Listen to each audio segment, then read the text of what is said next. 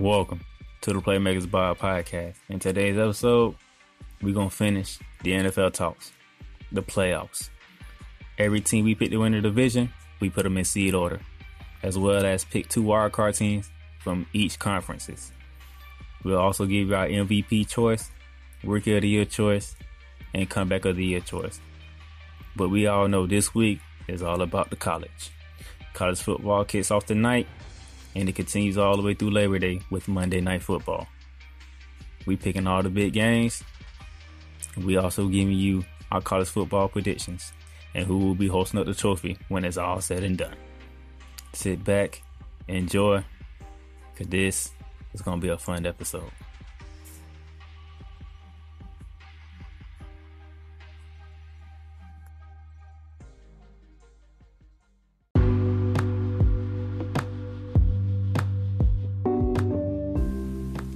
Have you ever thought about starting your own podcast? It's a long process. It's a hard thought out process. Yeah, I know. I was there.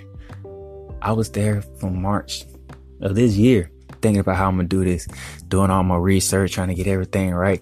What platforms can we use and how we gonna record it and how we gonna make it sound good and make it all this happen. And then I came upon Anchor, the Anchor app on my phone, the easiest choice I could ever make to do a podcast. It's free to use. You don't gotta pay for nothing. You can record episodes whenever you're ready. You can edit it and then you can release them when you want to. And you don't have to worry about trying to figure out how you're gonna distribute it on other platforms because Anchor has partnerships with Spotify, Stitcher, Google Podcasts, Apple Podcasts, Breaker, Castbox, Pocket Cast, whatever you name it. Because the Playmakerz Blog podcast is the podcast that I use. We are on all them platforms. We are on nine platforms just by using the Anchor app. So pretty much all the questions that you have questions about about doing a podcast, go to the Anchor app or go to the Anchor website, anchor.fm.com and just search through it, ask questions. Cause I tell you, a free app that does all this, there's nothing more you can ask for. I even got friends, they doing their podcast on the Anchor app. Faith Talk, you might have heard of it because it's very good. And it's great that it's an app like this, it's a website like this that makes it easier for people to do podcasts and do what they love best, talking about the things that they love to talk about. So give Anchor a try, see how much you like it. We'll love to hear your podcast.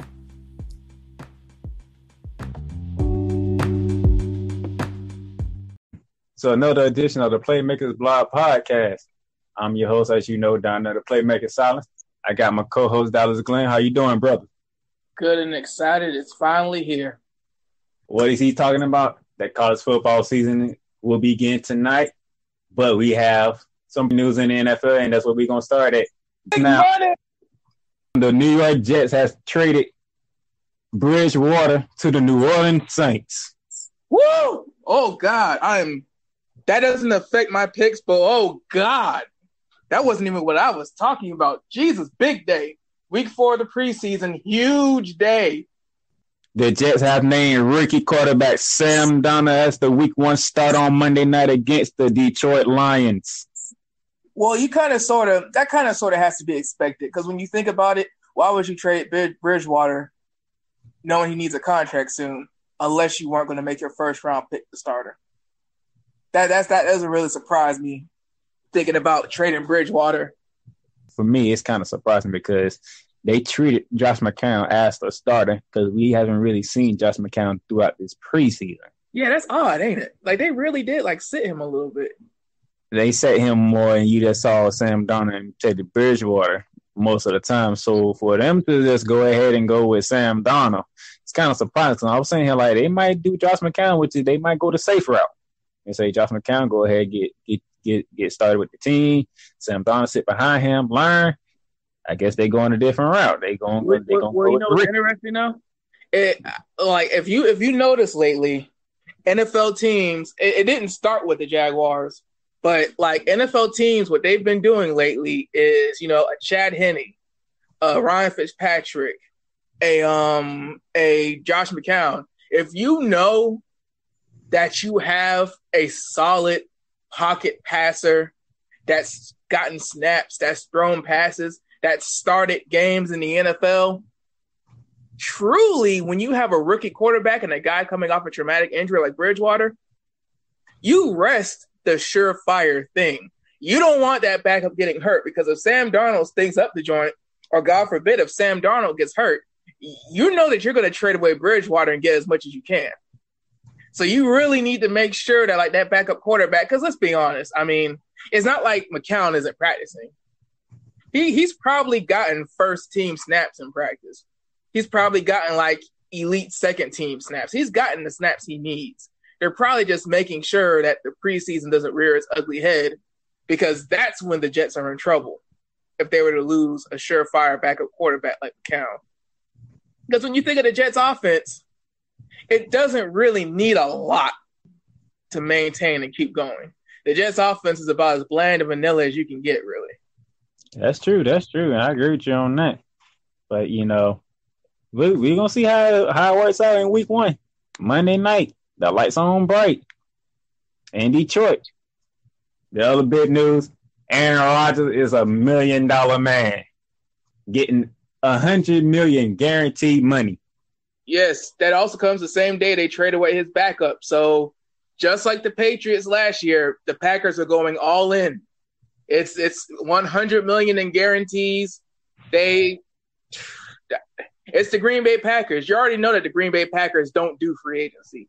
When you do 100 million dollars in guarantees, unless that's one big old signing bonus, the Packers are basically saying Aaron Rodgers and Aaron Rodgers alone is going to take us to the promised land. Aaron Rodgers is the best player in football, bar none, period. We're going to pay him like it, and he's going to be worth every penny.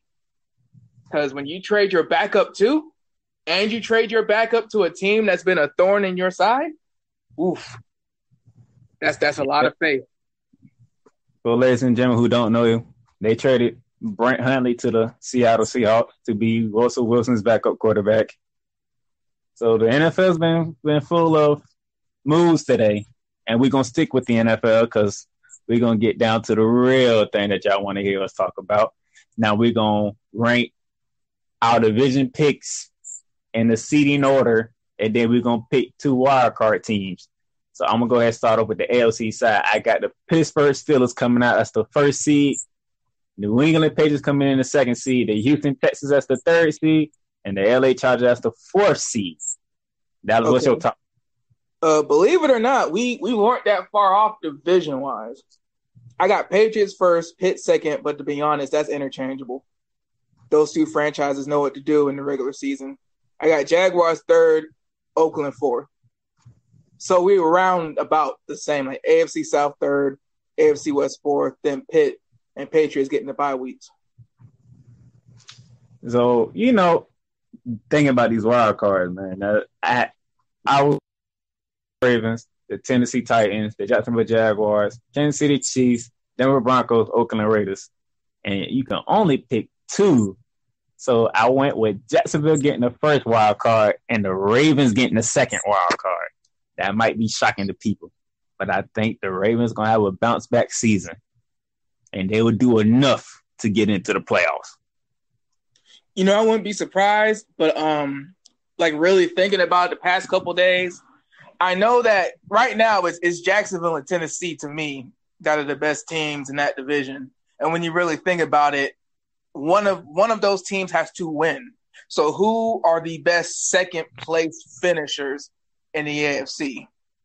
And I'm I'm with you. Like I know the AFC South is gonna have one of the best second place finishers and I know the West and I know the Ravens. But I'm thinking that, you know, Kansas City, yeah, they have a new quarterback, but they um Andy Reid, he he's he's a quarterback whisperer.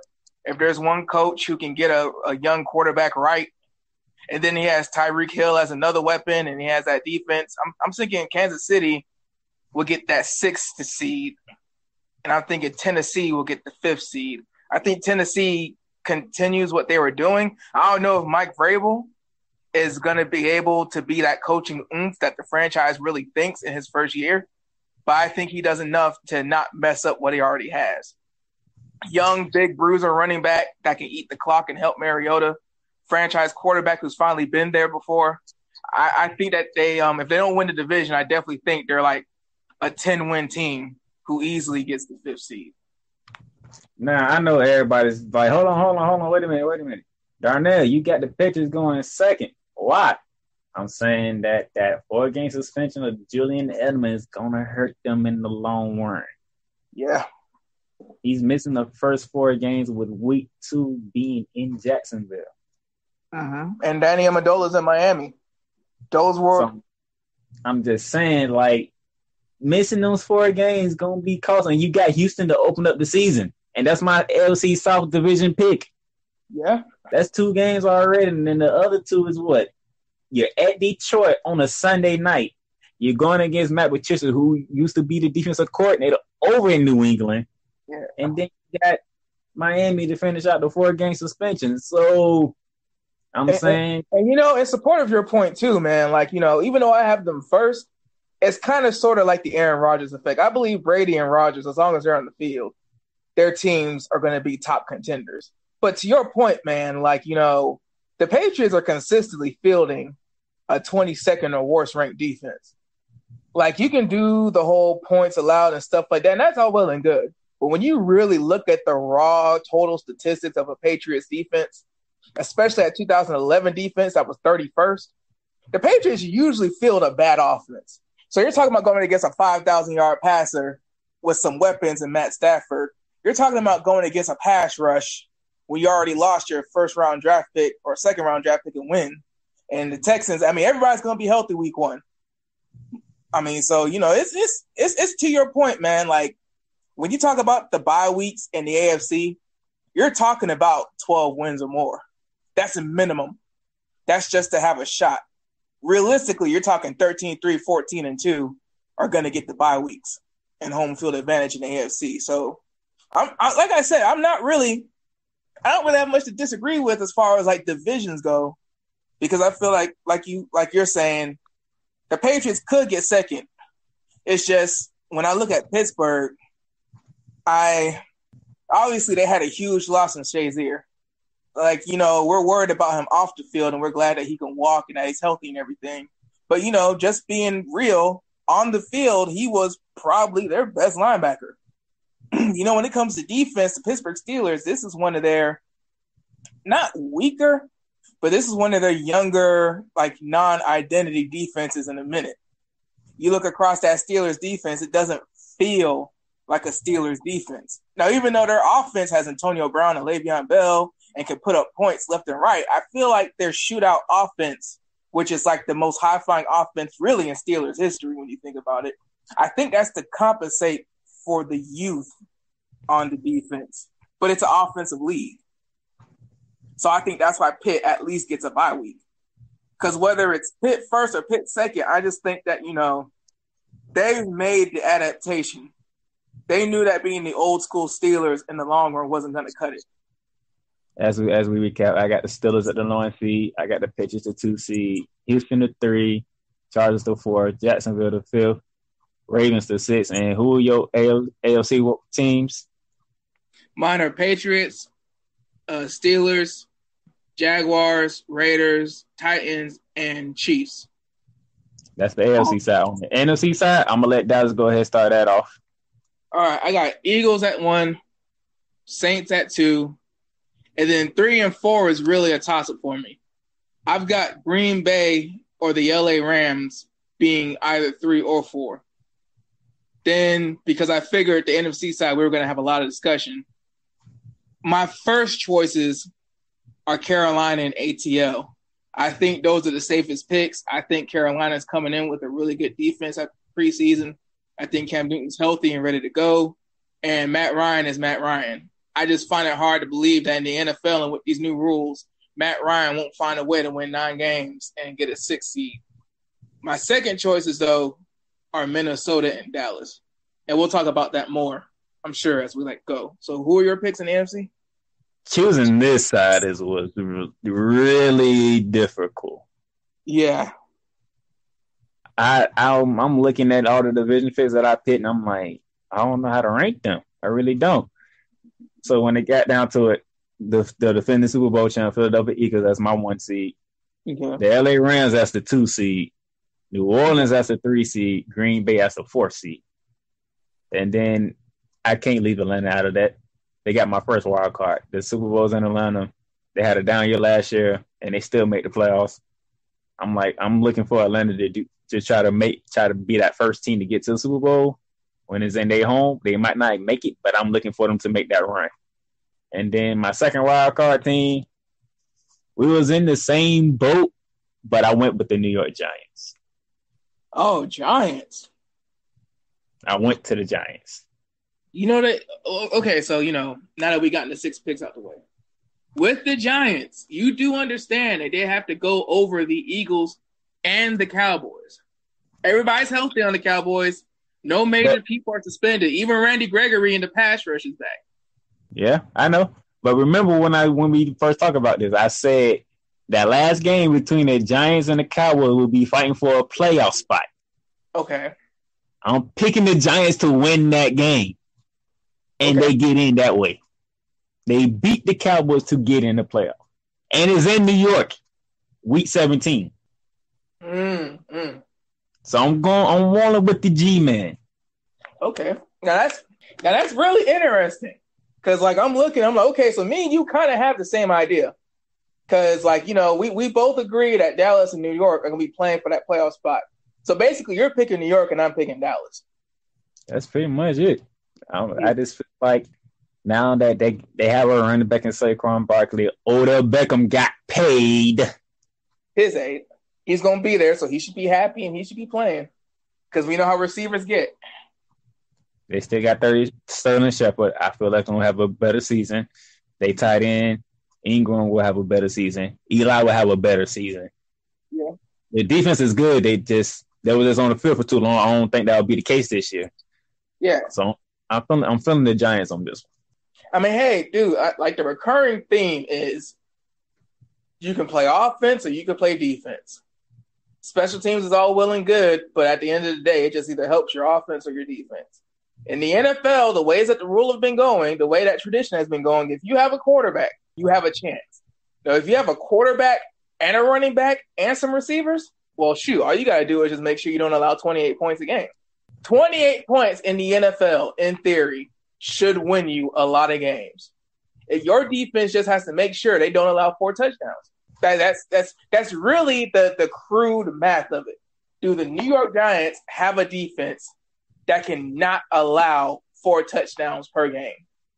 If they can prevent four touchdowns per game, I'm with you. I don't see why the Giants aren't a playoff team on paper. Experienced quarterback who's definitely going to go to the Hall of Fame. Uh, wide receiver definitely going to go to the Hall of Fame. Highly touted running back. Good role players. Decent offensive line. They hey, they just need to allow less than four touchdowns a game, and they should be able to get it done. But um, hmm, so so you're kind of okay. So what what do you feel about Minnesota? Was it just Carolina, Atlanta, and Dallas? I mean, New York was just too good for you to put them over, or do you think Minnesota just doesn't have the juice? While I'm looking at it, I'm thinking somewhere down the line, Kirk Cousins is not going to be that 84 guaranteed dollar man that they want him to be. I think he'll start off good, but as the season starts to wane down and you starting to see who who's really battling, I think Cousins is going is to fall off.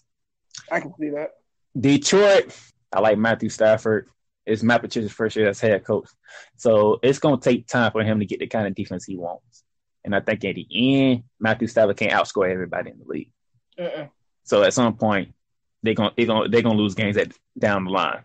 It's gonna be heartbreaking losses. I already said I got the Giants beating the Cowboys. That's how they get in. So Dallas is eliminated. Carolina. I wanted to put Carolina in there, but for some reason I'm thinking about it. I'm thinking about I'm thinking that's the fact by Atlanta getting in, that's what gets Carolina knocked out. Mm.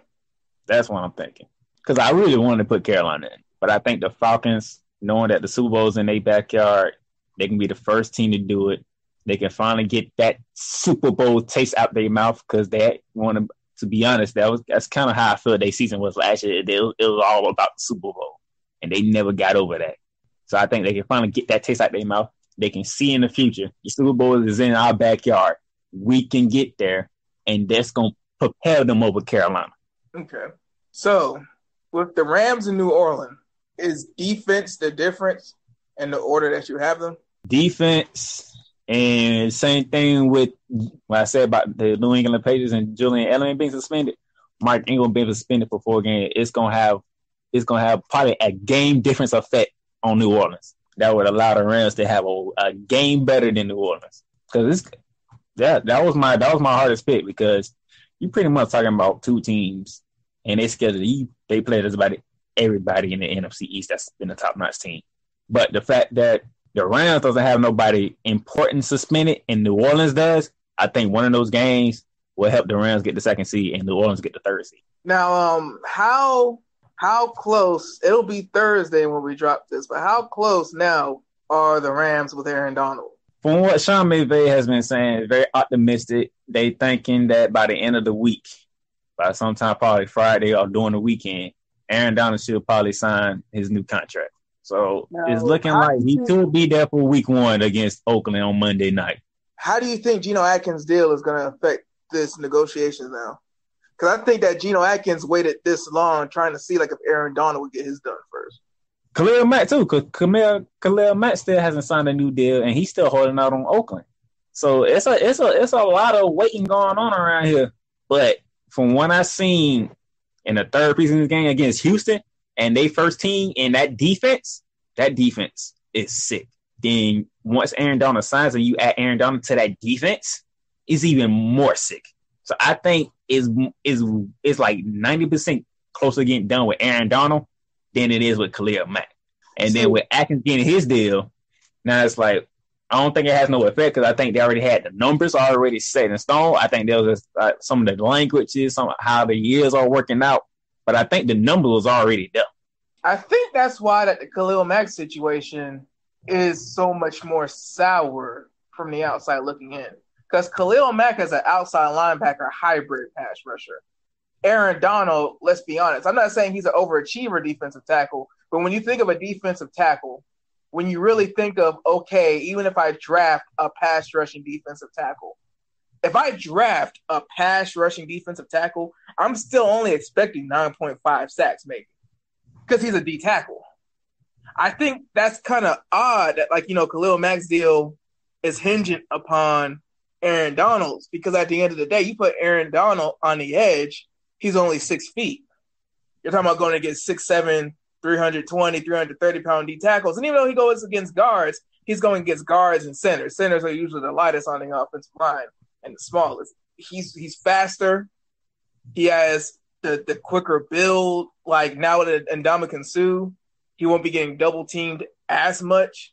But it's like it's it's odd. I think that that's one of those things where you know I don't know where it's going to be a bottom feeder team. It's going to be a team like you know San Francisco, Arizona, maybe Indianapolis. It's going to be a team that doesn't have a lot of pieces but has the cap room because I, I just it they're both pass rushers, but they, they don't they're not the same. Aaron Donald is basically being the successor to JJ Watt because JJ Watt's winding down. Aaron Donald's going to be that interior lineman where like you know the Warren Sapps, um, Marcus Stroud, Marcus Strauss, Marcell Dareus when he first got in the league. You know, it, it's believe it or not in this NFL and the way college football is, it's rare to find that sub three hundred pound pass rushing defensive tackle. It, it's not as it's not as common as some people may think. So I think that you know I think at, at the crux of it, man, I think his Khalil Mack's agents I think they get that. you know, when you think of Khalil Mack, you think of Shawne Merriman, Lawrence Taylor, um, Simeon Rice, My, uh, Michael Strahan, um, Terrell Suggs. You're thinking like, you know, put him in a three-four Joker, put him in a four-three, you know, right defensive end. Like, it, it's not the same. So it's probably an irreparable situation because you got a coach like Jon Gruden and an owner like Mark Davis. I mean, I don't know. I don't know if that business acumen gets done. It's unfortunate because I mean the Raiders. That's going to be a big hole. I think if Khalil Mack doesn't come back next year, it's going to be a completely different Raiders team because I don't think they have an offense like New Orleans or the Giants to compensate for a defense that allows four touchdowns or more a game. I mean, if Khalil doesn't show up for the season, especially for that opener, I think Oakland's going to have a hard time with the Rams. A very hard time. Oh, dude. I mean, you know, not to not to shoot down your shit, but they don't have Khalil Mack. They're gonna have a hard time with everybody. they Derek Carr is a franchise quarterback. He he is a franchise quarterback. He is definitely one of the best 100 players in the league. He's young. He has time. But we're talking about Dan Marino with the Dolphins kind of ineptitude and just hopelessness. If they can't prove that okay, when our elite players come due, we're gonna keep those pieces around for Derek. Because think about it, Amari Cooper, he stayed relatively healthy. Amari Cooper's been producing. I think he just had a contract either next year or last year. But wide receivers, when that third contract comes due, look at Dez Bryant. That's basically what happened. If Amari Cooper is asking too high and he doesn't want to do a Larry Fitzgerald type of deal, now you're talking about his running back will be gone because Marshawn Lynch ain't gonna play in Las Vegas. I think you already said that. His running back will be gone, receiver might be gone, and then an elite Hall of Fame pass rusher will be gone. What pieces will he have? It's gonna be interesting. We're, we're about a week away from the start of the NFL season. So you heard our playoff teams real quickly. Um, I got Deshaun Watson and Tom Brady battling for MVP. Ooh. I'm saying Deshaun Watson will probably be the comeback player of the year, depending on what happens with Carson Wentz in Philly. Mm. And I'm saying Saquon Barkley will be the rookie of the year. Ooh. What do you think? To be honest, I I, I just find it weird that Aaron Rodgers is being nicked up so much over the past couple of seasons. I think this is a season where he stays healthy. I think they figure it out. They figure out what they got to do, how they have to protect them, how they have to treat them in the training room. I think that Aaron Rodgers is MVP this year because I think that the combination of him getting hurt last year and then this money deal, I don't think that the Green Bay Packers, even though they don't like to go through free agency, I don't think that the Green Bay Packers would have had Brett Hundley and DeShone Kizer on the roster, two young quarterbacks who've barely gotten snaps in the league, giving him that kind of money unless the physicals and stuff came back right. I think Aaron Rodgers stays healthy. I think he balls out. He could easily be comeback player of the year when you think about it, but I think he stays healthy and I think he's the clear MVP. I think Tom Brady has that LeBron James effect. I think people have gotten so accustomed to Brady being at the top that they don't realize just how awesome of a statistical season he's having at any given time. So I think that if Aaron Rodgers stays healthy, it's not even an MVP race. I think he just wins it outright. So okay. I got Aaron Rodgers as my MVP pick. Okay. Well, who, who is your rookie of the year and comeback player? I think comeback. I think Deshaun's a good pick for comeback. I think Deshaun's gonna be comeback, and for my offensive rookie, I'm thinking I'm actually going to go quarterback. I'm just okay. thinking which quarterback. Hmm. I think that I think that Sam Darnold might win Rookie of the Year. He's going I, with the Jets QB. And once again, I'm saying that because not that the Bills have a crazy complicated offense. I'm just looking at it and it's like, okay, the Jets scheme doesn't need elite weapons. I think that for Saquon Barkley to get offensive rookie of the year, as a running back, he's going to have to do a lot. He's going to have to catch out the backfield and he's going to have like 1,200 plus yards. Because you look at Leonard Fournette last year and Kamara beat him, who was a running back. But when you look at what Kamara did, Kamara was that much better than Mark Ingram. But Kamara was also on a team with Drew Brees and everything. Like Leonard Fournette, when you think about offensive rookie and how did he affect his team? How did his team go? If it was offensive rookie MVP, it should have been Fournette. But Kamara did that much. Can Saquon Barkley do that much with Eli and Odell on the same team? Just when you look at um, Sam Darnold, it's like Josh Rosen. He um he he's on the Bills. Then you know, Josh Allen, God bless him, he's he's on some kind of revenge tour, but he's in Arizona, so he can have fun with that. Um, so you know, it's simple offensive system. You're not expected to do much. You're expected to compete for a wild card spot because New England's in your division. So off rip, it's like he doesn't have to win the division. His offense is catered towards him learning on the go. I think if he can break 3,000 3,200 yards and could throw 20 touchdowns and keep his picks around 15 or 16, and the Jets can finish with like, you know, a winning record and either get the sixth seed or just miss the playoffs, I think he gets rookie of the year. All right, there you have it. One week from today, it's the opening kickoff. The Atlanta Falcons at the Philadelphia Eagles. We'll be back. All right, now let's get down to the big news of the week. College football has arrived. Yes, Lord. Starting tonight, all the way through Monday, college football is taking over. Now, to recap, me and Dallas both pick Oklahoma to come out of the Big Ten, the Big Twelve. Excuse me. Uh-huh. Clemson come out of the ACC. He has Miami coming out of ACC. Yeah. He has Ohio State coming out of the Big Ten, despite what's been happening with Urban Meyer's. I'm going with Wisconsin out of the Big Ten. We both mm-hmm. got Alabama coming out of the SEC, and we both got Washington coming out of the Pac-12. So yeah. Dallas. Mm-hmm. Question that people want to know: Who you putting in the playoffs? All right. So, do you want to? Can I give context, or you want me to just say it, then we give context later? However you feel. All right. So four. Taking everything into consideration. Everything into consideration. I've got Ohio State at four. I when we talked in that episode, I picked Ohio State really out of spite and skepticism more so than how I think they'll perform on the field. It turns out my spite and skepticism was warranted because if you really look at the details of Urban Meyer's three game suspension, he can still be around the team during the week.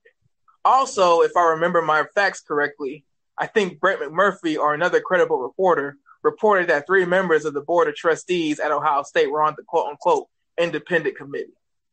So that being said, I really don't think that the interim coach can do much to mess it up against Rutgers and Oregon State. And I think me and you both agreed on one loss Big Ten team can get in. So you're talking about maybe slipping up against TCU, but I doubt that too.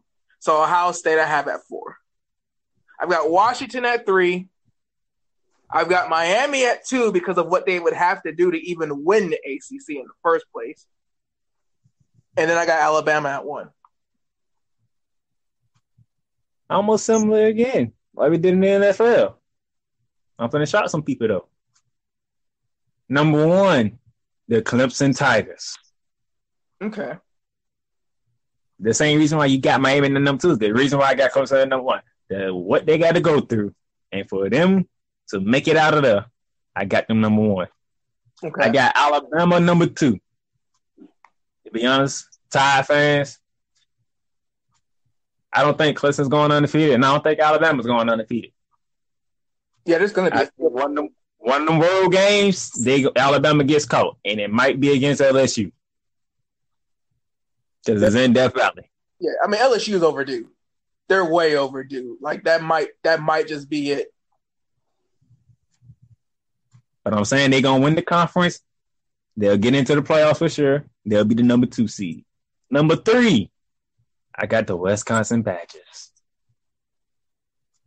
I think this might be the year where a team that nobody really, a team that's not really big known, gets in because they proved it on the field week after week after week, and that's Wisconsin as some people will say, Wisconsin is the SEC team that's inside the Big 10 mm-hmm. They play defense, they run the ball.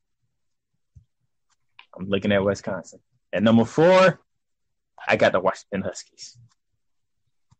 I think they'll survive the Pac 12, as interesting that comes with it. I think they'll survive it enough to where all the other teams will slip up and they'll allow Washington to get in.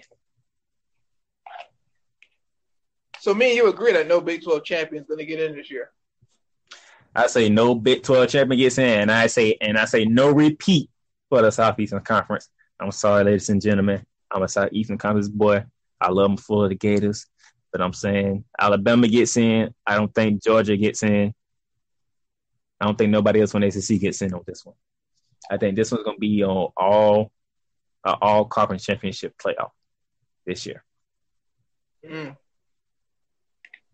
mm. I think I think now everybody knows just because you win your conference doesn't necessarily mean you're gonna get into the playoff. So everybody's on alert now. Now, only do I want to win my conference, but I want to make sure with no doubt everybody know I'm one of the best four teams in Yeah, and Oklahoma. I mean, me, me and you, me and you agree. The ACC champion and the Pac-12 champion, their strength of schedule is going to be ridiculous. Big 12, you really got three teams TCU, Oklahoma State, Oklahoma. And Oklahoma State, I mean, what have they done lately? They had that one great year with Brandon Weeden and Justin Blackmon. But when you really think about the BCS era, when you think about the college football playoff era, they've been good. They've been exciting, but they they haven't been able to pull the trigger. And Mike Gundy's been there for a long time to still not be getting it done. Same thing with TCU. TCU was dominating the group of five. For them to still look like they're on the bubble, like they're still on the cusp, it's too long. Three, four years in a Big Five conference, and you're and you're good enough to finish third and fourth all the time. That's that's not going to cut it, man. Oklahoma is not that good. So I, am I'm, I'm with that. I, I we both know the SEC champion automatically gets big. That's like automatic. Yeah, it's just we're picking Alabama to win the conference is the problem. Like you know, if if God God forbid if Kentucky won the SEC, they're putting Kentucky in. It just means Alabama will have to knock out Ohio State or Wisconsin.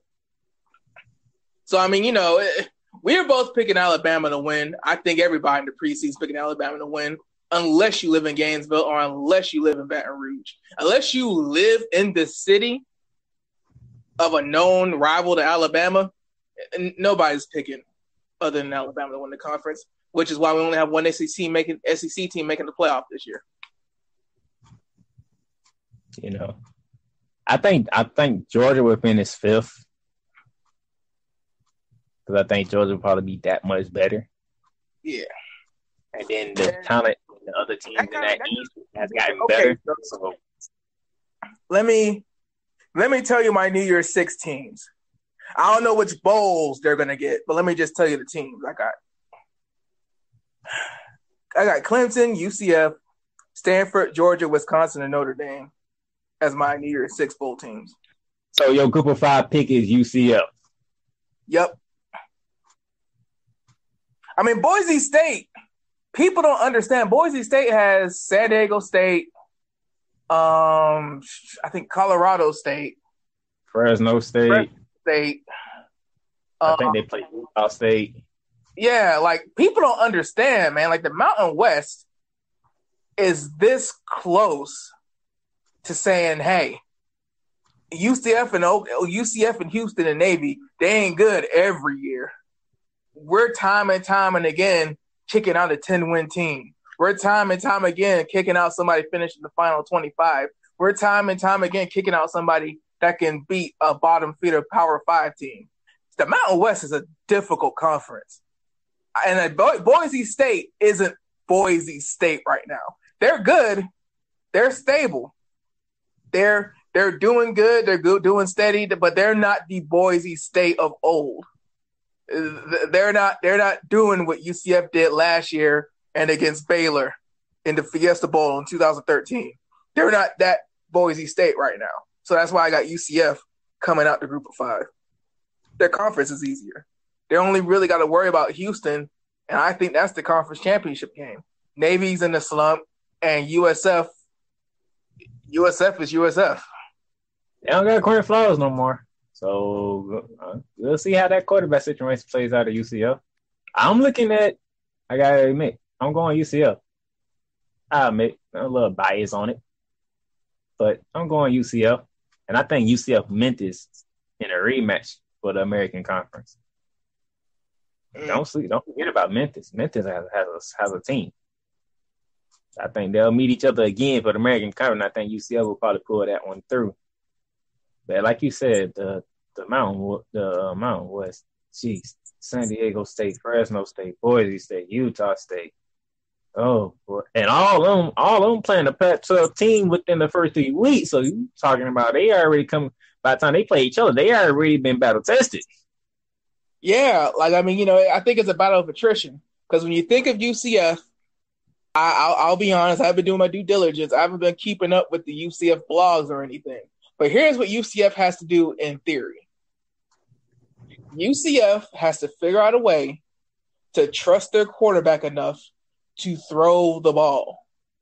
When you look at the UCF teams that have won major bowls against Power Five teams, they've had a quarterback that could go out there and throw the rock and compete. Blake Bortles put up 52 against Baylor, and I think that there was a shootout. I think we're talking like 40 plus that UCF put up against Auburn to win the Peach Bowl. So UCF is a college team where their identity is we have a quarterback, he's going to throw it. I think that UCF, I think that any college team, but I think UCF, all things considered, I think they're focused on keeping the ship rolling. When you look at the American Conference, you have Connecticut, you have USF, you have Houston, you have Navy, and you have UCF. Connecticut and USF are not national, they're not national programs, not right now. Navy, their the personnel that they have to choose from because of their unique situation and the triple offense works against them basically what's been happening is every time Navy plays Houston, you know, Houston just they they they can score more points than them. Houston and UCF have just been thorns in the side of Navy because Navy can't put up points like that, and they just don't have the recruits to have an elite defense. So you take out Navy. Now you're talking Houston. Mm, I mean, they have an elite track team, but it ain't like every track member is playing football and playing receiver and corner it's one of those things where when you look at Houston, you look at Memphis, and you look at UCF, it's basically the same situations. Their quarterbacks aren't stars when the season starts, and you know they just they they develop as the season goes. Again, you know, me and you have said it over and over because Memphis, Houston, and UCF are always coin flips, and you have to see how the season goes. That's why an American team is going to get the group of five. The Mountain West is just too hard. So, but all right. So, so tell me who you got. I got UCF making an, another New Year's decision, right? You know, yeah. I asked, Georgia will finish fifth in a in a final polls, so they'll be in the New Year's Six bowl. Yeah, I think Penn State will be in the New Year's Six bowl because I got them losing to Wisconsin in the Big Ten championship game. Okay. So Oklahoma would get a New Year's Six bowl because let's be let's be real, like it's Oklahoma. Okay. So you and then possibly you can I can see you USC get probably get, getting one. Okay. By, by them finishing second and losing to Washington in the Pac-12. Okay. So but I can I can see UCF going against probably Georgia in the Peach Bowl. So is so is Peach Bowl basically group of five SEC? Is that the agreement? It's SEC for sure, but the group of five they can go they can probably go into any bowl. It depends on where they feel like putting them at. All right, so all right, so let, let, let me get my math right. Right now, I have five bowl games and I'm leaving the national championship open in the playoff. That's the correct math, right? The six bowls are the five regular bowls in the national championship, right? Uh, I believe so. Okay. Because I'm looking, it's like, okay, I got Stanford, which is one of the Pac 12 team. I got Clemson, which is one of the ACC team. I've got one of the big, big. T- See, here's here's what's tricky to me, Darnell. Notre Dame is an independent. And yes, Notre Dame has the money. Yes, they have the NBC deal. I understand all this. I get it. But Darnell, I I feel like this season I have to give Notre Dame the Chargers treat. If you look at Notre Dame's schedule, every year, every year, if you look at Notre Dame's schedule, they have a schedule where if they can just go 11 and 1, they're going to get a major bowl game. I, I, feel like it's one of those laws of numbers thing. Like, you know, Brian Kelly, he's been there. Notre Dame, they get the best recruits. Notre Dame doesn't have the Ohio State and Penn State situations. They don't have the Florida situations. They don't have um, the Baylor situations. Like Notre Dame, even though it's Notre Dame and nobody's perfect, Notre Dame usually they're they're independent. They're always independent, and they kind of just you know mind their business and schedule the hardest schedule where you know you have to win every game. It's weird to me because it's like I know that we have Oklahoma picked to win the Big 12. And I know that me and you really only have basically a, a major five teams and UCF.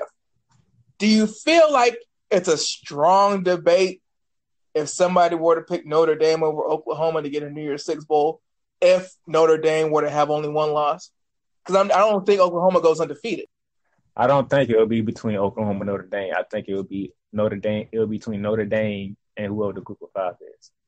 Well, no, because the group of five is guaranteed as long as they're the highest ranked group of five. Notre, Notre Dame has that. Notre Dame has that weird grandfather clause. Like out of all the independent teams, Notre Dame is different. I think Army and BYU count as group of five teams, but Notre Dame doesn't. Notre Dame can make the playoffs if they go undefeated this year. Yeah, if they go undefeated, that's a Mike and Winch in our system right there. Yeah, yeah, and, and, and you have to remember, even though they got their asses skunked, they went title game against Alabama that year as a straight up independent, really because they're Notre Dame. And they was undefeated. Yeah. And, and, that, and that's the thing. Like, that's the thing that people have to understand. There's an undefeated Notre Dame, then there's a one loss Notre Dame. Is a one loss Notre Dame with the schedule that they have worse than Stanford losing the Pac 12? Worse than Wisconsin losing the Big Ten?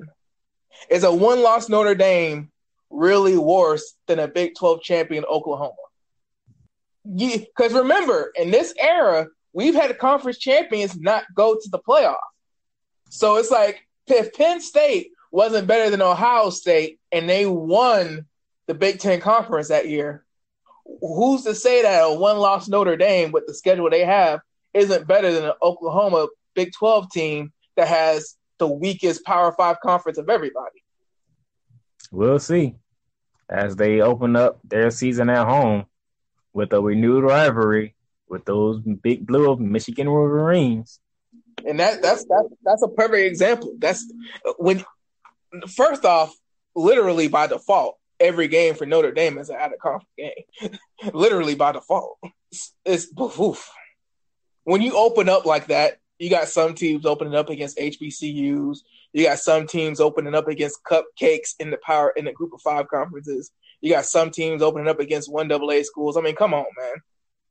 Notre Dame's coming out the box hot. We, yeah, we, but let's get back to the playoffs because uh, it's interesting because you have Alabama one, Ohio State four that will play each other, and then on the other side you have Miami and Washington.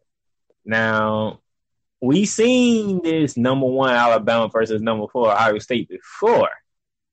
Does this repeat, in your opinion? This year, no. We have to really go back and put on our historian hats and remember that they had the three quarterback problem back then. They had a quarterback that could play receiver and start at receiver. They had one quarterback that was a dual threat, and they had one quarterback that was a big old pocket passer. Then they had weapons on top of that. I think they had um not Mike Smith. His name escapes me, but they had like an elite receiver that was like a first round NFL prospect. Um, they had some uh, some pretty decent defensive players. I mean, they was wait wasn't Joey Bosa on that team? I think Joey Bosa was on that team. Yeah, so when you think about it, man, like you know, it's a different Ohio State, man. Like I'm not saying Ohio State doesn't have weapons. I'm not saying that Urban Meyer doesn't recruit, but you know, Nick Saban, he's Nick Saban. Alabama, you're talking about Alabama now. I think that was Jalen Hurts first year when they lost against Ohio State. Now you're talking about an Alabama that has a quarterback that outright beat Jalen Hurts for the starting job in a half of football. So you add an actual quarterback plus the rest of Alabama's team.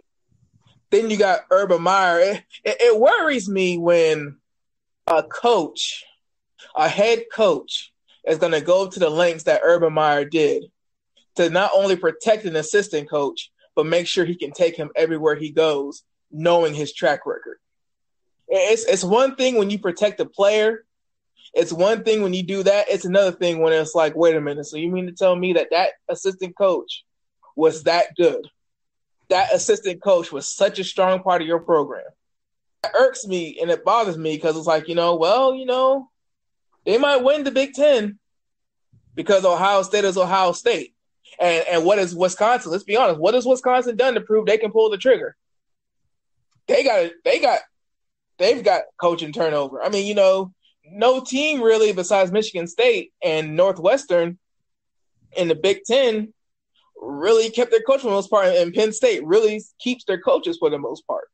So the safe pick is Ohio State. The second safe pick is Penn State. That being said, there's a difference between safe pick and they can beat Alabama. I don't think anybody from Big Ten is going to be Alabama. I think Wisconsin will put up a good fight, but that's because they'll keep the ball away. I don't think the Big Ten champion beats Alabama. I agree with you because that's my first round matchup: Alabama and Wisconsin. I think I think that might be the first playoff game that you see an old fashioned fight and who comes out on top in a tough battle. And yeah, Alabama's good for it. Better than Wisconsin. Yeah, like you know, Alabama, they've they've got the NFL defense, the NFL offensive line, and they got a quarterback and they got receivers so the quarterback can throw it to. When you look at Wisconsin, they're straight I form. They're I form and their defense brings their lunch pail. Their defense ain't nothing to call home about, and their running game ain't nothing complex. Wisconsin, what makes them special is you know what they're gonna do. You just can't stop it. Alabama, they're literally an NFL team running a pro style offense. You're essentially playing against an NFL team you're playing against an NFL training camp roster when you play Alabama. You got you got to have a lot going for you to beat Alabama. And then on the second side, on the other side, I got Clemson versus Washington. That will be a great matchup to see. ACC champion versus Washington is going to be a high flyer. I'm thinking over under. I'm going over 50 points. That's going to be a high flyer. And I think Clemson will pull. I think Clemson will pull away late in the fourth quarter. So that'll leave me with Alabama and Clemson yet again for another national championship. But let's get to your other side because your other side you got Miami and Washington. And and here's the and here's the tricky part with me because like you know Miami, Mark Richt's second year, honeymoon year, the Miami culture is starting to come back, turnover chain and all that. I mean, Miami is returning a lot of people, and Mark Richt, as a coach, it didn't matter if his whole roster was graduating. Mark Richt proved at Georgia in the hardest conference in all of college football that he can deal with turnover. He can keep Georgia. Like people forget, Mark Richt at Georgia never really lost more than three games. He he was always in the mix somehow. If he had a year where he lost one or three games, it was truly a bad year. So when you think about it, it's like, okay, teams coming back, all that, what they would have to do to win the ACC. Washington has been there before, but I don't know if Washington has the firepower to beat a Miami that beat Clemson for the conference. And also, let's not forget FSU. We don't mean neither me or you think that FSU will finish higher than third but you know, it, the ACC isn't as easy as the Big Twelve. Basically, I think that Miami can probably beat Washington. I don't know what it is. I know Oregon did pretty good the first year. I don't know when a Pac-12 team is really going to look like they can win a national title. It feels like it's been forever since a Pac-12 team won a national title. Now, I'll say this: if Stanford wins the Pac 12, I can see Stanford going over Miami or Clemson.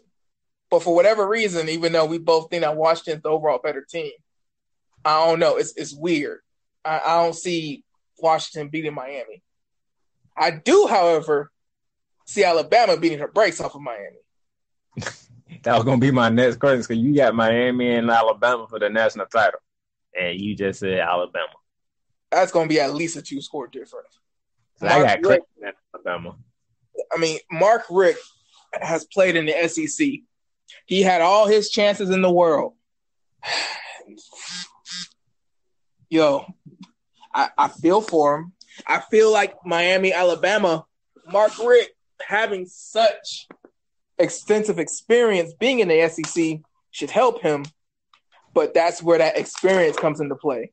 Washington, if people remember, if people be fair and objective and remember, Washington in the BCS era, they weren't as bad as their cousin Washington State, but they they weren't Oregon.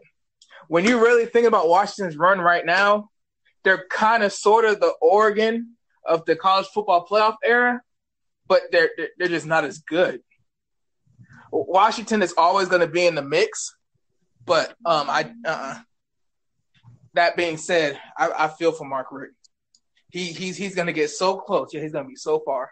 Cause that ain't no way on God's earth he's beating Alabama. Not this year. See, I got Clemson and Alabama, and every time these two get together, it's an instant classic. And I'm thinking there's gonna be another instant classic.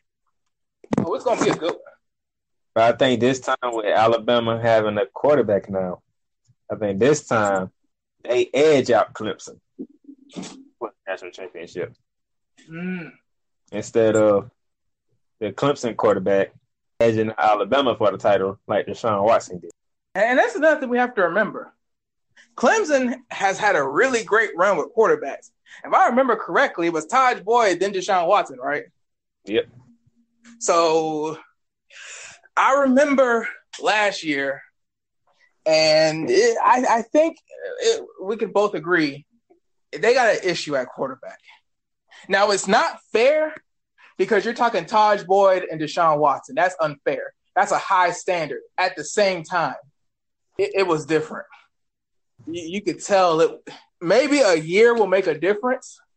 Maybe Kelly can do a little bit better, but I mean, that remains to be seen because now you're talking if um God his name escapes me. But if the true sophomore who's probably going to be starting for Alabama, messes up, you've got a guy who's played in four college football playoff games behind him, including a national championship game where Alabama wasn't really out of it. Alabama wasn't getting blown out. Alabama wasn't a team that was playing like crap and needed a spark. Nick Saban just went with the who he thought was a hot hand. Dude, like Alabama might have the best quarterback situation in the entire country. And I can't believe I just said that sentence. Alabama, out of every school, might have the best quarterback situation in the country. You're Ladies starting off. You heard him correctly. He said Alabama has the best quarterback situation. And, and I'm and I'm going to explain it. You have a true sophomore that won against Georgia in overtime when it clearly looked like Alabama just wasn't clicking. It, it was just a SEC slugfest, and the true sophomore proved out to be the difference. Now you're coming in with him. He's supposed to be in Nick Saban's eyes exceedingly better than Jalen Hurts, who's now the backup quarterback, but who has played in the college football playoff every year that he has been on the Crimson Tide. You literally have a backup quarterback who has two or three more years of eligibility, is going to stick around this season and not transfer, and is sitting behind a true sophomore quarterback who's only played a half of football with the strictest coach and the coldest coach in all the college football land. It's literally a no risk situation for Nick Saban because when Jalen Hurts gets in, all he's going to want to do is prove himself and prove why the coaching staff made a mistake. So he'll play even better than he played the two years Alabama got to a national championship game or the playoff the first year when they lost Ohio State. So it's really a situation where it's like you tell me a situation. I don't care about how they looked in high school. I don't care about what kind of stars they had. I don't care how they looked at your little spring game. Tell me a team that has a quarterback that looks that much better than a quarterback who's been to the college football playoff two times. You won't. A lot of teams, maybe every team, when their starter goes down, the season's done. If Alabama's starter goes down, you're basically picking up where you left off last. Year. And by picking up where you left off last year, that means you were good enough to make the playoff, but you didn't even win your conference. And I don't think people understand how significant that really is. So I mean, Alabama tackles the young boy, flusters him. You put in the experienced Jalen Hurts, who can run the ball.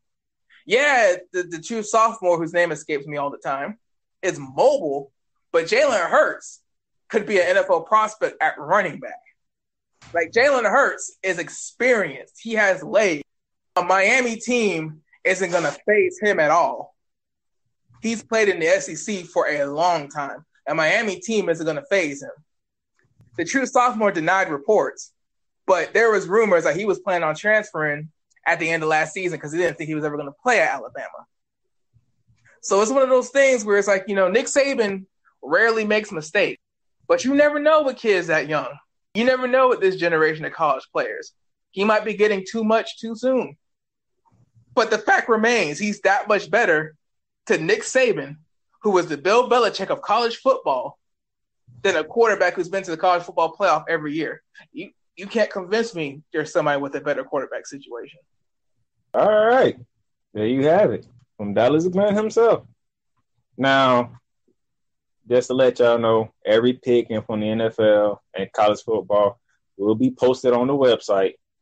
So just in case you you forgot who we picked, you you can go on the website and you can and you can see who all we picked. The website will be posted along with this with this episode. So with that being said, let's get to some college picks. Damn. Now before we do this, looking at the schedule, Dallas, Okay. Do you have anybody on upset alert this week? Yes, I do. I do. I do. When I when I first saw the game, it just spoke to me. I don't know whether it's because of my day job. I don't know whether I have an affinity for them. Just for some reason, BYU's independent self stood out to me. I think that BYU has been sorry for too long. I think that Arizona their window has closed. I think those two are going to go together. I think BYU is going to be Arizona. Now, Arizona isn't ranked, but when you think about the Pac 12 and when you think of where Arizona has been performing in recent years, all it takes is a couple of weeks and Arizona can make a run for it. I think BYU shuts the whole thing down before it even starts. Now, if you want to. So you're saying Kevin Sumlin's first game as the Wildcat head coach is an L at home. I here's the thing with BYU. BYU has kind of sort of the same issue as Army, Navy, and Air Force, but not to the extent. BYU, you technically don't have to be a Mormon to attend the school. Because of that, BYU, any given year, can have a decent season. We're talking like, you know, eight, nine win season. Arizona is looking like a regular team. I'm thinking that Arizona is regular degular.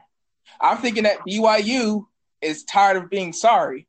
BYU has a lot of continuity and consistency, and their players are always a lot more mature for the most part because of the unique way that their school functions. I think that the continuity in coaching, I think that the continuity in personnel, I think they walk in a stable unit that's independent and realizes that they need to start winning games or else they won't have a shot for anything. And they take advantage of an Arizona team that look average, their windows closed, and they got a new coach. Wow. He pulled the trigger. BYU. I'm not necessarily picking this team, but I'm putting them on upset alert because it can happen. And I'm putting number 13 Stanford on upset alert as they open up at home tomorrow night against San Diego State. Oof. San Diego State beating Stanford. Now here's the interesting thing. I'm not saying I'm not saying it's gonna happen. I'm putting but I don't believe Stanford's gonna run away with this game. Here, here's why I'll tell you why Arizona is a much more of an upset alert than Stanford. Stanford is a physical team that can run the ball, eat the clock. If push came to shove, Stanford can stop that game in its tracks. Their coach has been coaching that team for a minute. He's been in the Pac 12 for a minute. He knows that the only way to compete in the Pac 12 is to shut down those high flying offenses, which he can do. I think that he can grind away at a San Diego State team. But here's the thing with BYU Arizona. Arizona Kevin Sumlin has had some of the most high flying offenses ever. He had a high flying offense at Houston, had a high flying offense at Texas A&M.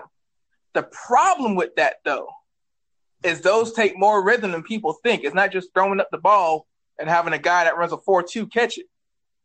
If you can knock off a passing offense's rhythm, if you can force some third and longs and get them like some three and outs or whatever, I mean, you know, you get a three and out against a passing team, the clock barely stopped.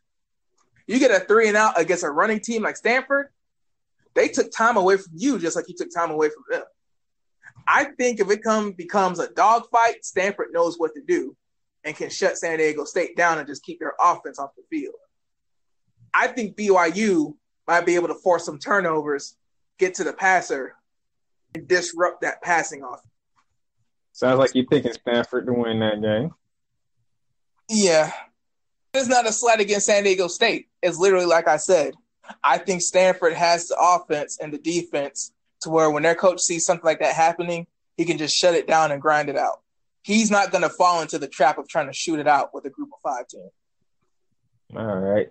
So let's let's get to some picks now. Tonight, tonight, tonight, tonight, the new era begins at UCF as they open up on the road against American Conference opponent UConn. Dallas, who you got? UCF. I got UCF probably 35 21. 35 21, UCF. I think that this is a game where it's in conference, so it does matter. But I think it's it's it's just in that range where UCF can work out the kinks and not be too worried about losing. I think for them to lose against UConn, they have to have a terrible game. The team has to just look awful. I don't think the team looks awful. I think that they'll let UConn score. I think that they'll have some miscues, might even have a turnover that UConn capitalizes on. But I think UCF gets through it and wins that game. All right, all right. I'm taking UCF. Enough said. UCF by 30. All right. The suspension of Urban Meyer begins Saturday as the Buckeyes are at home and they open up against the Pac-12's own Oregon State Beavers. I'm taking got, Ohio. Yeah, I got Ohio State like 42 14. Ooh, you saying it's not even close. Nah. Oregon so, State because to go 2 10, and I mean, there nothing nothing's really going on over there this time of year for Oregon State. So it's going to be a rough year, and it's going to start with Ohio State. All right, let's move on to an interesting matchup. Lane Kiffin taking the Owls of Florida Atlantic up to Norman, Oklahoma to face the Sooners in the Kyler Murray era. Where you going, Dallas? The CUSA needs to watch out. The CUSA needs to be on red alert. Or are they in the Sun Belt? Did they realign yet? Sun Belt. Uh, even worse. Even even worse. The Sun Belt needs to pray. They need to pray hard. I don't think FAU wins this game, but I think they lose it by one score. I think FAU scares the hell out of Oklahoma. And I think FAU sets the tone that they're going to win the, the Sun Belt outright. They're going to win the Sun Belt by a decent margin. Me and Darnell both have UCF as our group of five pick. I think me and Darnell also believe that Boise State is a safe pick. this isn't me copying out. This is just me being honest. If Florida Atlantic, I'm picking Oklahoma to win this game.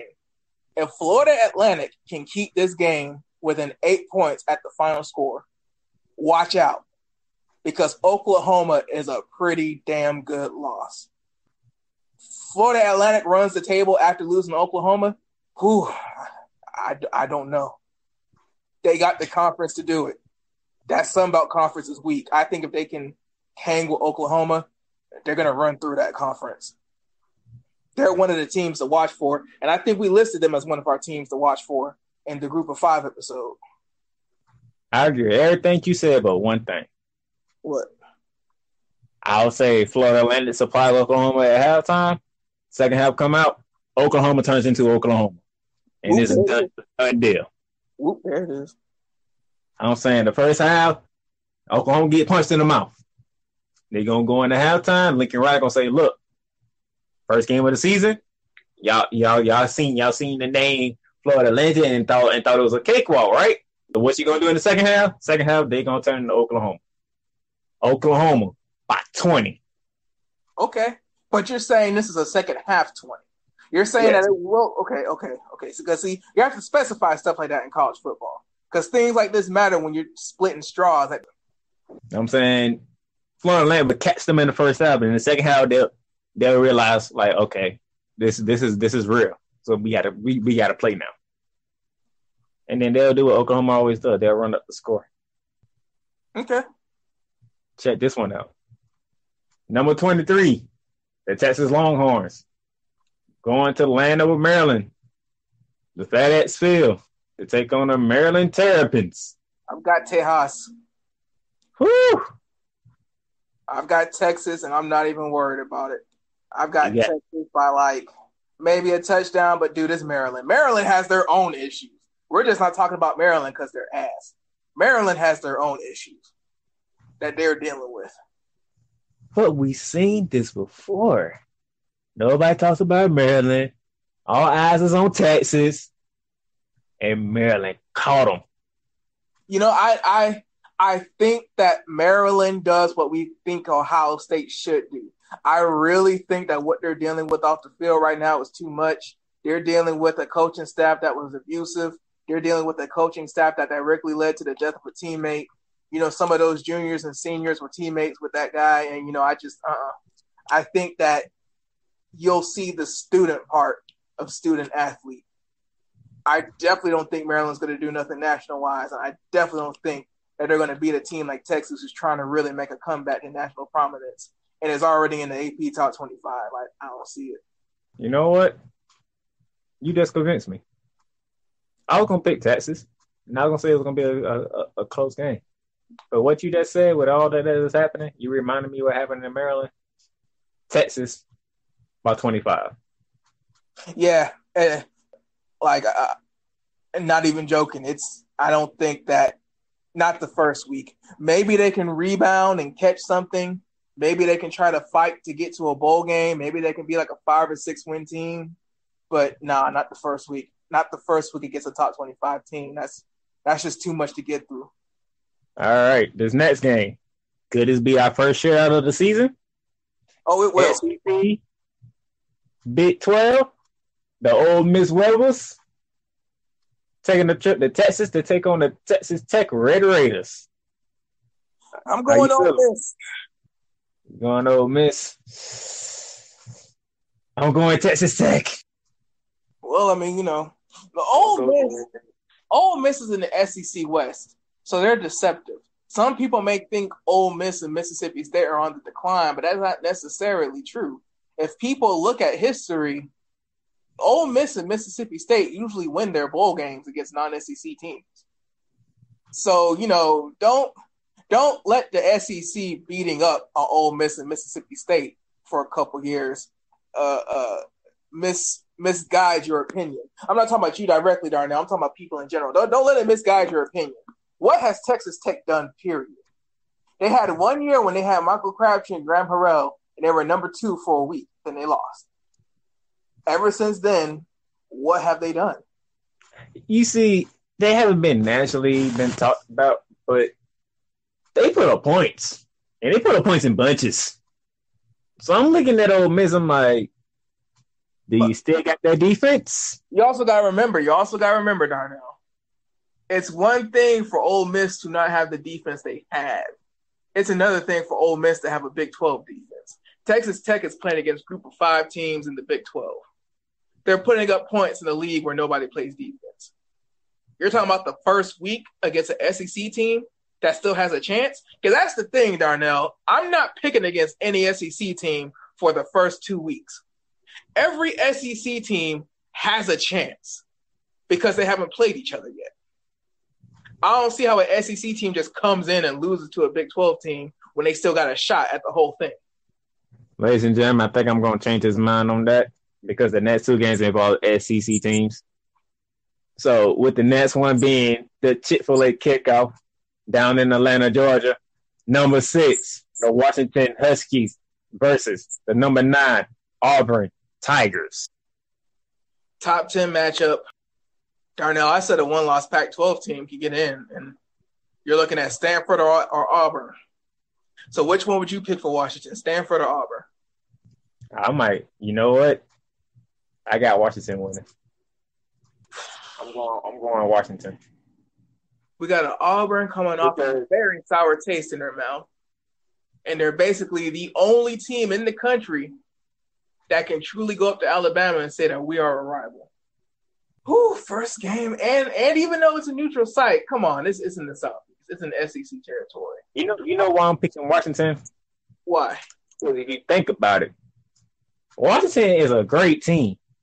People they on are. The, people on the East Coast don't know about them because they always playing at 10, 45, 11 o'clock at night. Yeah. And I'm pretty sure Washington is sitting there like, y'all gonna know about us Saturday. All this SEC, ACC talk and not alone looking at us in the Pac-12. I think they're gonna send a message early. I'm not saying you're wrong. It's just this is the equivalent of those high school football games where it's it's supposed to be fair. They scheduled you for homecoming. It's just they've arranged it somehow. This is this isn't the homecoming game per se, but this is just that situation where it's like this isn't a neutral field.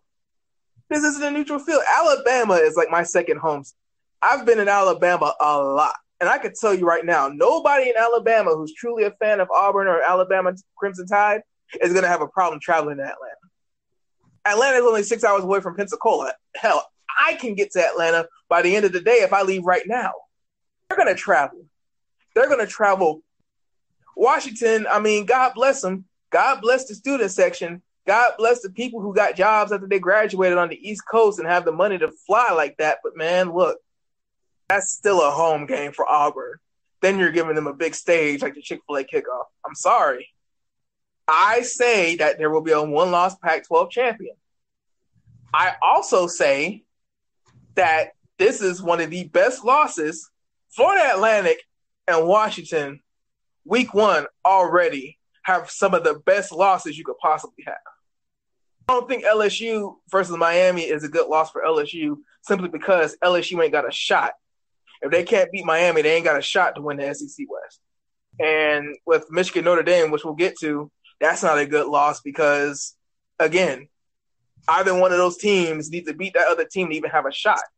Whereas Washington and Auburn, I mean, they can still get there.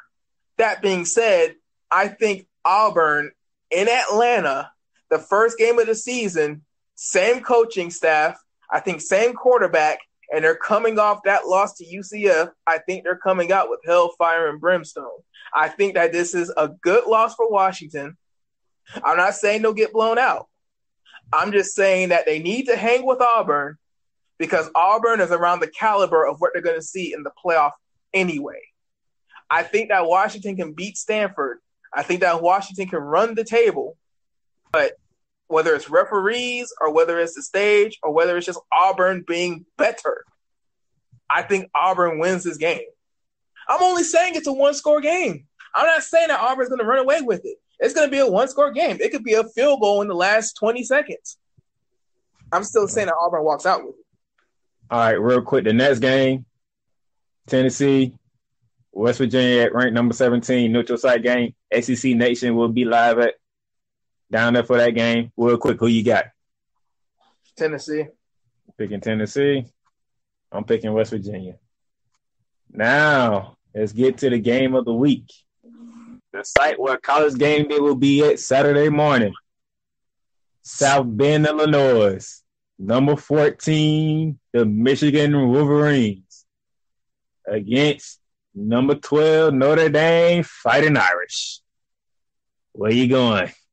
Going Notre Dame. It all goes down to I, I go off of history and track record. I, I don't know if you guys realize, but Darnell, he he's really into the math, the numbers. He's really into like looking forward. I like to look back. And when I look back, Jim Harbaugh has had all the opportunities in the world to show that Michigan is moving forward. But when you look back at the history, Jim Harbaugh, he he, doesn't get it done. Jim Harbaugh hasn't even played in the Big 12 championship game. Now, I think I'm not saying this is a down year for the Big Ten. What I'm saying is the field is open. I think that Notre Dame gets this simply because it's a big game. It's the first week of the season, and Jim Harbaugh hasn't shown me anything that says he'll open up against a number 12 Notre Dame, not a 24 Notre Dame, not an unranked Notre Dame, not a 19th Notre Dame, a number 12 Notre Dame. 12th ranked means that you can win games and get into the mix by the middle of the season. The AP poll is giving Notre Dame a chance. I think Brian Kelly takes advantage of that chance. Beats Michigan at home. I'm going upset. Like you always say about Jim Harbaugh, the young, the honeymoon thing is over. Your butt is on the line this season. And what a way to make people in Michigan and people around the nation get a little more comfortable with you being the head man in Michigan and then knocking off Notre Dame in their backyard. Jim Harbaugh, this is your game. I'm gonna see if you're gonna take it. Now let's uh, move on to the Camping World kickoff down in Orlando, Florida, where it's the Louisville Cardinals on the ACC going against the, the national defending champions from the SEC, Alabama Tide. I don't even and know why you put this game on the list. I'm pretty sure both of us are picking Alabama. I don't even know why you put this game on the list. What's there to talk about? Hey, you never know when it comes to that ACC SEC games. Today. those games get a little crazy. But we both picking Bama, so we gonna move on. Dallas is upset pick BYU at Arizona. He picked BYU. I'm picking Arizona. Kevin Sumlin would not start his Arizona Wildcat career with a loss to BYU. He everybody, everybody watch the independent teams this year. Watch Army, BYU, and Notre Dame. Notre Dame is the only one who's really going to have a shot to make any national noise. By national noise, I mean compete for a playoff spot or a New Year's Six Bowl spot. But Army finished with 10 wins last year, and BYU is due. They're due. They're independent. They have their own network. They have bowl tie-ins. Like, watch for BYU. This is one of those games that BYU is a going to need to get bowl eligible, but B like I think BYU finishes in the top twenty-five. I think they were three and eight last year, but I think this win is going to get them on that road because again, let's be fair to Kevin Sumlin. He needs he, he he can't install his offense, even if it is a Pac-12 team. He can't just install his offense in one off season. And then God bless him, but he didn't learn how to play SEC defense either. So so there's a lot of stuff he has to get together. BYU ain't the sexy team. They don't do a lot of things pretty, but they can play defense. They can force some turnovers, and their offense usually has a mature quarterback that went on a mission somewhere. Is 25 years old that knows how not to throw picks every play. I think ball control is what gets it done, but they still get it done. I think I think with Kel Sumlin being gifted with Khalil Tate as his quarterback, I think Khalil Tate is the difference. I mean, I, he's gonna be he's he's gonna be the runner for my for the Heisman. So I think having Khalil Tate gives Kevin Summerlin that escapability to get away from BYU. Now, something's got to give him this one, Dallas. Yo, SEC, yo, ACC pick the number eight Miami Hurricanes versus the number 25 team, the LSU Tigers. Miami. There you go. He went against by 14. by 14. Miami by 14. LSU is coming in 25th. LSU coming in 25th tells me that the AP is like, well, what are all the schools with a reputation? What are all the schools that, you know, they've been there before, they've done it? Who are the Power Five teams? Then who are the best teams in the group of five? Literally, all the AP top 25 is, is okay, let's go through the entire group of five and who's left. I mean, let's go through the entire Power Five and who's left. LSU made the cut because they're in the SEC. Miami is leagues better than LSU is right now. 14. Mm. Hmm. Sunday night, ACC, SEC, round two. Another neutral site. If I'm mistaken, correct, I think this I think this game would be played in Arlington inside Jerry Jones' billion dollar playpen. My heart is telling me LSU, but I'm gonna go with my mind on this, and I'm gonna agree with you. I'm gonna pick Miami. Mm. I'm gonna pick Miami by ten. And that leads to the final game of the week, and it's on Labor Day, Monday night. Uh, ACC battle up in Tallahassee, Florida. The Virginia Tech Hokies, ranked number 20th, against the number 19th ranked Florida State Seminoles. Mm. Mm. Mm.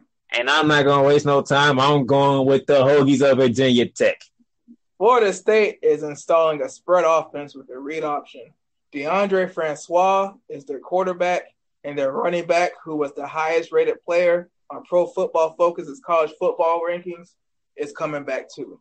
Y'all can have fun with that. Virginia Tech, Florida State at home, maybe 21. Florida State big. All right. I like it. There you have it. All our picks are in. That's all the time we got for today. Remember, all the picks will be on the website. We're gonna go ahead and look ahead to tomorrow. Dallas what's coming up tomorrow. Okay, so you know, I've really been trying to figure out what's going on here. I've been trying to compare WWE's booking and WWE's on-screen product with other promotions, and I've been trying to like really, really break down what's going on and why. I think now I know we usually talk about storylines and how we feel, but like I, I think I legitimately have an explanation as to why things are the way they are now. It may not be fun to some people. It may not be what you traditionally think a wrestling podcast should be, but I think that it's no fun when all we do is what all 100,000 other wrestling podcasts do, which is get mad at WWE and try to figure out why they didn't book people we think they should book. I have actual reasons. They're shoot reasons for people who think they're smart but don't know what shoot means. They're real reasons, they're tangible reasons. And I think that is going to explain why things are the way they are. Again, will you like it? Probably not. But it's probably the best explanation we're going to get. Until tomorrow. Later.